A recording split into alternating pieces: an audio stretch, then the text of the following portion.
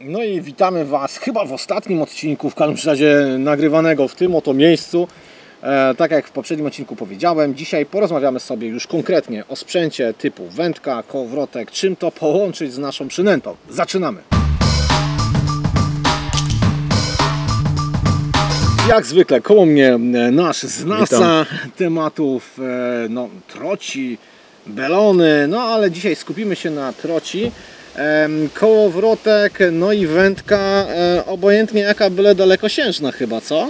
No tutaj trzeba połączyć kilka czynników. Po pierwsze, lekka, łatwa i przyjemna, żeby się nie zmęczyć, bo Dokładnie. też w zależności jeśli ktoś weźmie wędkę, nie wiem, 3.15, 3.20 e, jakąś, no name, będzie mikrej postury, no to wróci połamany i będzie musiał do rehabilitanta się udać. Także po pierwsze tutaj trzeba dobrać sobie wędkę dla siebie. Dwa, trzeba nią w miarę daleko rzucić. Nie zawsze ryba jest blisko pod brzegiem. Skutecznie zaciąć i wyholować, bo może wędka daleko rzucać, ale nieskutecznie zacinać. No i tu właśnie nasi producenci powinni się wykazać.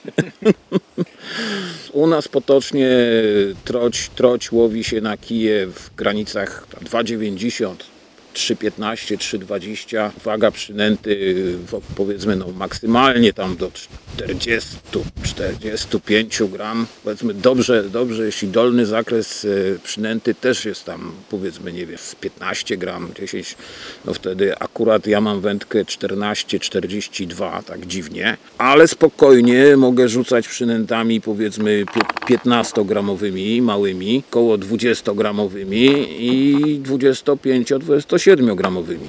Ja pokażę czym ja łowię już od w sumie no, dwóch lat, jak nie, jak nie więcej. Jest, to tego, tego typu pen. Mm, czy ja wiem, słuchajcie, mega jakaś e, może e, górna półka, niekoniecznie, 3-metrowe wędzisko. Ogólnie pen dobra firma, jeśli chodzi o kołowrotki, natomiast wędkę pen to widzę pierwszy raz. No słuchaj, no ma nawet e, w nazwie trot, troć, więc, więc się skusiłem. E, Jeżeli chodzi o kołowrotek, e, słuchaj, musi być odporny na słoną wodę? Mm, Nie musi być, ale trzeba o sprzęt trzeba dbać. Wiem, że koledzy tutaj miejscowi, którzy są w sezonie nad wodą codziennie, no to tego nie robią albo robią to raz na tydzień. Ja, jeśli staram się przyjechać na 2-3 dni po powrocie do domu, kołowrotek jest opłukany e, z wodą, tam troszeczkę detergentu, ale bez przesady, przetarty, wysuszony żeby po prostu ta sól się na nim nie osadzała. Mimo, że tutaj nasz Bałtyk jest stosunkowo mało słony, no to jest, bo widzę to po swoim sprzęcie do brodzenia, gdzie też po powrocie do domu z takiej dwu, trzydniowej wyprawy płuczę kombinezon, bo jak nie wypłuczę, to są na nim osady soli później, a wiadomo, że to szkodzi. No i nawet na krętlikach e, widać, że one rdzewiają na potęgę, tak, więc coś, tak, coś to też, też właśnie polecam, polecam to kolegom. Właśnie ogólnie ro- robię tak, że mam pudełko, na które łowię. I do tego pudełka przygotowuję sobie tam 5-10 przydęt, na które łowię, natomiast ze sobą mam oczywiście więcej przynajmniej. No i okazuje się, że na przykład mój zestaw przygotowany, obrzucany, który był w wodzie, troszeczkę się nie sprawdza, no to z reguły do tego pudełka dokładam przynęty z magazynu, które też są łowione. Jedno pudełko jest z przynętami, które były w słonej wodzie.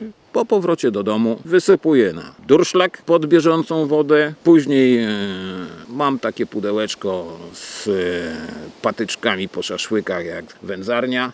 Wieszam przynęty i one sobie spokojnie wysychają, są opłukane i już na nich praktycznie soli nie ma. Po prostu o przynęty trzeba, trzeba dbać i o sprzęt. Znowu trochę odeszliśmy od tematu, dlatego wracamy i od razu z grubej rury, e, bo łowimy na plecionkę, nie? bo musimy bardzo mocno czuć tą przynętę, no i to zacięcie jest wtedy takie mocniejsze. Tak, no żyłka jest bardzo rozciągliwa, a powiedzmy, żeby miała tą wytrzymałość, którą ma plecionka, to musiałaby mieć odpowiednią grubość.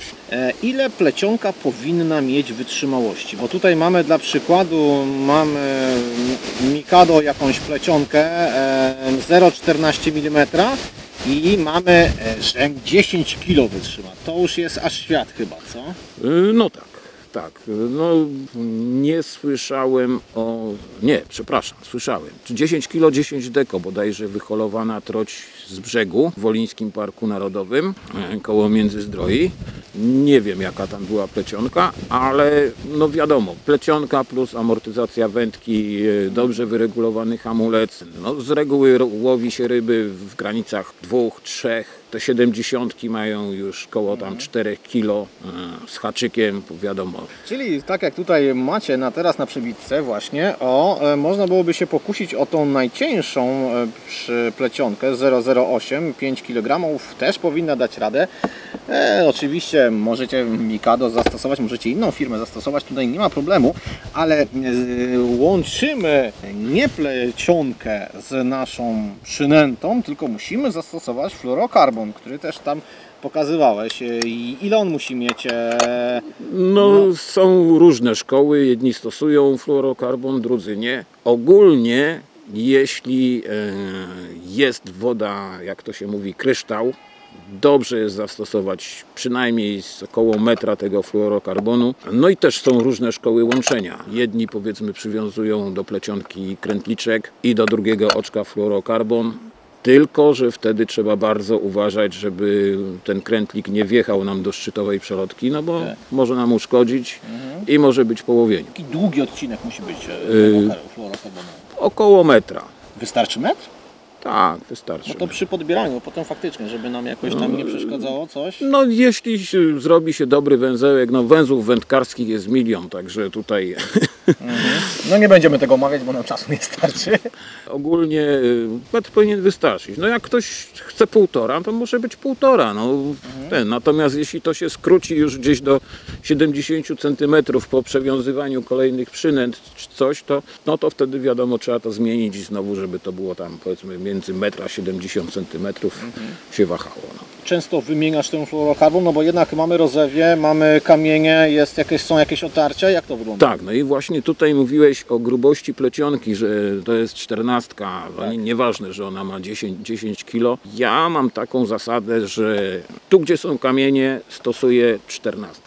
Pomijając wytrzymałość liniową, którą ona ma, to jednak jest trochę grubsza, trochę tych włókien jest więcej i przy obcieraniu przez kamienie e, jednak dłużej wytrzymuje. Natomiast e, jeśli się w trakcie łowienia zauważy, że są jakieś przetarcia czy coś, obciąć ten odcinek, przewiązać, bo jak się nie zauważy, może być strata ryby. A wieczorem po łowieniu, e, no to już obowiązkowo nawet przejechać palcami ostatnią część, tych kilka metrów, czy tam nie ma, nie ma jakichś przetarć czy coś, jeśli są, obowiązkowo wymienić. No fluorokarbon nas troszeczkę zabezpiecza, bo jest troszeczkę bardziej odporny. No poza tym, że powiedzmy przeźroczystość wody, woda bardzo czysta, dajemy ten odcinek fluorokarbonu, żeby jakby ryba nie widziała plecionki, która może być żółta, czerwona, zielona albo biała, to fluorokarbon jest bardziej odporny właśnie i też trochę zabezpiecza ten ostatni odcinek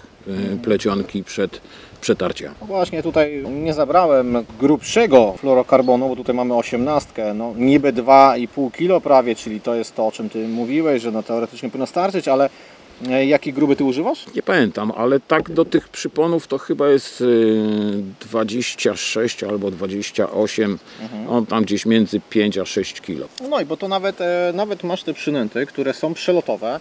O nich nie powiedzieliśmy w poprzednim odcinku, dlatego warto byłoby tutaj e, no, 5 sekund poświęcić. E, Akurat te przynęty przelotowe y, je zbroi się w ten sposób, że przewlekamy fluorokarbon. Tutaj prześwit, otwór jest 0,8.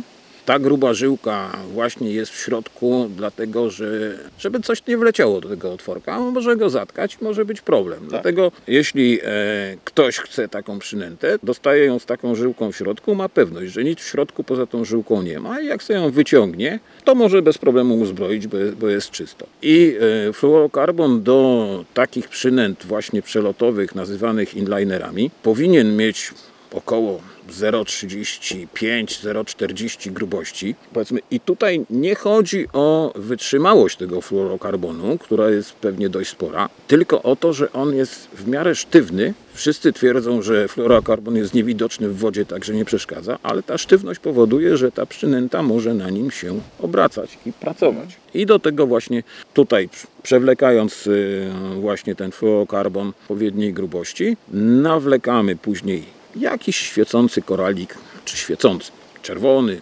żółty, pomarańczowy. Koralik też ma poza jakąś tam funkcją wabiącą, mhm. że jest coś czerwonego na końcu. Często one też y, właśnie są fluorescencyjne. Zabezpiecza węzeł dalej do kotwiczki i właśnie tutaj też są różne szkoły. Niektórzy dają jedno kółeczko albo wiążą od razu do kotwiczki, albo dają też dwa kółeczka na końcu. Wracamy znowu do naszego tematu odcinka. E, czy kolor plecionki ma znaczenie dla ryby?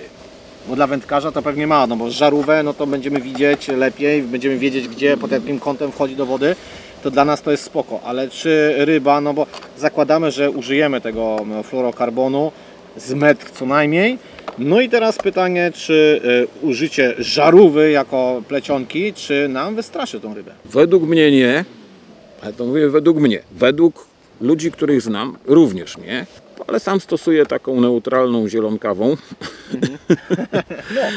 Ale był okres, y, gdzie miałem dostęp właśnie do takiej żarówiastej, żółtej y, i z powodzeniem ją stosowałem i też to rybom absolutnie nie przeszkadza. Natomiast zastosowanie fluorokarbonu, no to już zupełnie może być pomarańczowa, fioletowa. Dobra, słuchajcie, został nam taki malutki odcinek na sam koniec. Porozmawiamy o refulacji i o tym, jaki to ma wpływ na nasze rozewskie łowiska, które jest, y, to łowisko jest po prostu znane z tego, że jest pełno kamieni, no i co z tym piachem. Trzymajcie się, cześć!